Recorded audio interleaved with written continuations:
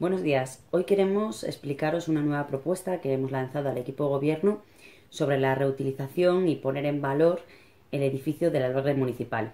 Este edificio, como ya sabéis, se encuentra ah, en las instalaciones por detrás del chef y actualmente lleva sin uso y parado durante varios años. Queremos que se saque a contratación pública y bueno, pues al final sea un edificio que tenga un movimiento, puesto que las infraestructuras vacías se deterioran con una facilidad enorme. Nosotros desde, desde el Grupo Ciudadanos en León hemos propuesto en nuestra página web, que es www.concejalesdeleón.com, una encuesta para recoger pues, las propuestas que pensáis los ciudadanos y que queráis hacernos llegar.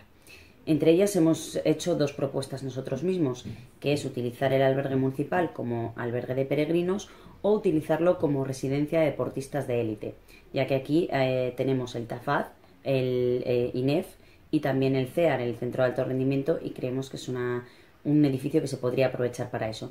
Pero queremos recoger tus propuestas, así que hacérnoslas llegar desde nuestra web concejalesdeleon.com.